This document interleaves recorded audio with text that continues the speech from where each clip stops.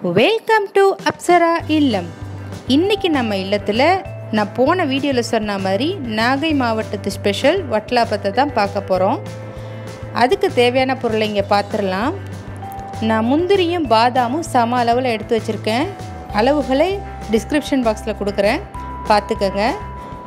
அதுக்கு வாசத்துக்கு ஏலக்காய் பவுடரும் அப்புறம் ஒரு டம்ளர் பசும்பாலும் அரை டம்ளர் திக்கான தேங்காய் பாலும் எடுத்து வச்சுருக்கேன். நீங்கள் வெறும்னா இதே அளவில் தேங்காய் பால் எடுத்து செய்யலாம். அல்லது ஒரு டம்ளர் தேங்காய் பால் அரை டம்ளர் பசும்பாலும் வச்சுக்கலாம். நம்மளுடைய இஷ்டம்தான். இது நான் வந்து ஒரு ஏழு முட்டை அதாவது ஒரு பத்து பேருக்கு போதுமான அளவு இந்த வட்டலாப்பத்தோட அளவு. அதனால் ஏழு முட்டையில் இன்றைக்கி செஞ்சுருக்கேன். இப்போ நான் பாதாம் ஊற வச்சு தோல் உரித்து வச்சுருக்கிறதால நம்ம அரைக்கிறதுக்கு ஈஸியாக இருக்கும். அப்படியே போட்டு நம்ம ஒரு சுற்று சுற்றிட்டு அதுக்கப்புறம் தண்ணி ஊற்றாமல் நம்ம வெறும்னு அந்த பால்லே தான் நம்ம வந்து அரைக்க போகிறோம் ஏலக்காவை வந்து பொடி இல்லைன்னா நம்ம ஏலக்காவை விதைய அதிலேயே போட்டு அரைச்சிருங்க நல்ல நைஸாக இப்போது அதை கொஞ்சம் கொஞ்சமாக பால் ஊற்றி நம்ம இதை வந்து நைஸாக நல்ல நைஸாக அரைச்சிருக்கணும். அதுதான் ரொம்ப முக்கியம். இந்த பாருங்கள் மையா அப்படின்னு சொல்லுவாங்கள்ல அந்த மாதிரி நல்லா நைஸாக அரைச்சி ஒரு பாத்திரத்தில் ஊற்றிக்கோங்க இந்த மிக்சியில் ஒட்டி இருக்கும் இல்லையா அதனால் மிச்சம் இருக்கிற பால் அதாவது கொஞ்சமாக வச்சுட்டு தேங்க தேங்காய் பால் ஊற்றிருக்கிறேன் பசும்பாலும் ஊற்றி கொஞ்சமாக மிச்சம் வச்சுருக்கிறேன். கடைசியாக நான் மிக்ஸி வந்து கழுவுறதுக்கு அது. இப்போ இதையும் அடித்து நம்ம மிச்சம் ஒட்டி இருக்கிறது எல்லாமே சேர்த்து இதில் ஊற்றிருக்கிறேன் இந்த பாத்திரத்தில் ஊற்றியாச்சு இப்போ இதில் நம்ம ஒரு கப் நான் வந்து சீனி இரநூறு கிராம் சீனி போட்டிருக்கிறேன். நான் நல்ல எனக்கு சுகர் ரொம்ப பிடிக்கும் அப்படிங்கிறவங்க இந்த அள இந்த அளவே போட்டுக்கலாம். இல்லை எனக்கு இவ்வளோ இனிப்புலாம் வேணாம்ப்பா அப்படிங்கிறவங்க இதை விட கொஞ்சம் கம்மி பண்ணிக்கோங்க. உப்பு வந்து நான் எப்போதுமே இனிப் இனிப்பு செஞ்சேன்னா உப்பு நிச்சயம் நான் அதில் சேர்ப்பேன். அப்போ தான் அந்த இனிப்பு எடுக்குங்கிறதுனால நான் ஒரு அரை ஸ்பூன் உப்பு போட்டிருக்கேன். இப்போ இந்த சீனியை நல்லா கரைக்கணும். அந்த கரையிற நேரத்தில் இந்த நல்லா கலக்கி விட்டுட்டு ஒரு பக்கம் நம்ம முட்டையை நல்லா மிக்சியில் அடித்து நம்ம இதில் வடிகட்டி ஊற்ற போகிறோம். நான் சின்ன ஜார்லேயே போடுறதுனால நான் ரெண்டு ரெண்டு முட்டையாக நல்லா அடித்து நான் வடிகட்டி இதில் ஊற்ற போகிறேன்.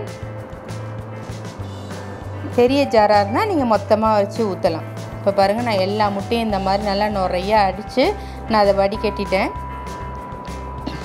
இப்போ இந்த மிச்சம் அந்த சீனியை எல்லாத்தையும் சேர்த்து நல்லா கலக்க போகிறோம் அவ்வளோதான். இதை ஆக்சுவலாக வந்து நம்ம வந்து அந்த காலத்தில் எப்படி செய்வாங்க அப்படின்னாக்கா கசகசா பாதாமுக்கு பதிலாக கசகசா தான் சேர்ப்பாங்க. உண்மையிலே அந்த கசகசாவோட ஃப்ளேவர் வந்து அது ஒரு விதமான ஒரு தனி சுவையை கொடுக்கும். அந்த வட்டலாப்பாமே ஒரு தனி டேஸ்ட்டாக இருக்கும். அதுவும் நாட்டு முட்டைக்கு சேர்த்து தான் வைப்பாங்க. அதுவும் வீட்டுக்கு மருமகன்லாம் வராங்க அப்படின்னாக்கா நாட்டு முட்டையில் தான் அந்த வட்டலாப்பமே செய்வாங்க. அதுதான் வந்து நாகை மாவட்டம் தஞ்சை மாவட்டத்தில் சில இடங்கள்லாம் வந்து ஃபேமஸ் அதுதான். ரொம்ப நல்லா ரிச்சாக இருக்கும். அந்த கசகசா சேர்த்து செய்கிறது ஒரு செம்ம டேஸ்ட்டு. நான் இப்போ இந்த கசகசாலாம் இப்போ அவாய்ட் பண்ணிக்கிட்டு இந்த வெளிநாட்டிலையும் அதெல்லாம் கிடைக்காது அப்படிங்கிறதுனால அதெல்லாம் நான் விட்டு ரொம்ப வருஷமாச்சு. இப்போ நான் வெறும்னா பாதாம் முந்திரியை வச்சு தான் நான் எப்போதுமே நான் செய்வேன். வீட்டு விசேஷங்களாக இருக்கட்டும் விருந்தாடிகள் வரதாக இருக்கட்டும் பெருநாட்களாக இருக்கட்டும் எல்லா நாள்களையும் வீட்டில் ஒரு இனிப்புன்னா அது நிச்சயம் அந்த வட்டலாப்பம் இருக்கும் எங்கள் வீட்டில் குழந்தைங்கலேருந்து பெரியவங்க வரைக்கும் எல்லாருக்கும் ரொம்ப பிடிக்கும் இதுதான். இப்போ இந்த பாதாம் முந்திரி அரைச்ச கலவையோட சீனி எல்லாம் சேர்த்து நல்லா கரைச்சாச்சு.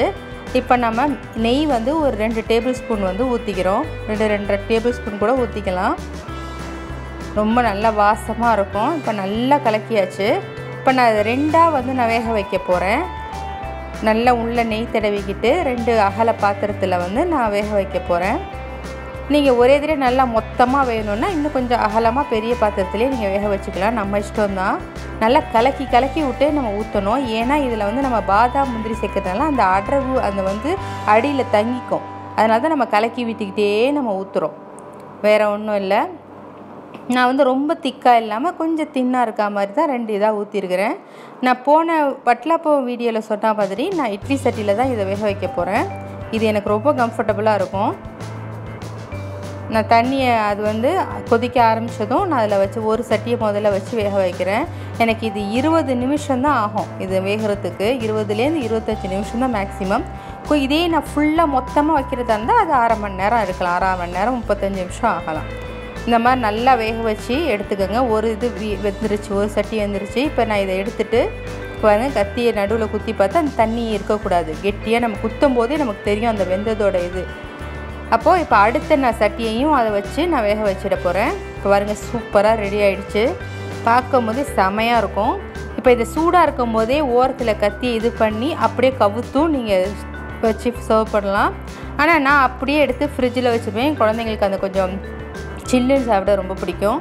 அதனால் கொஞ்சம் அப்படியே வச்சுட்டு நான் கட் பண்ணி நான் வந்து அந்த பீஸ் போட்டு தான் நான் சர்வ் பண்ணுவேன்.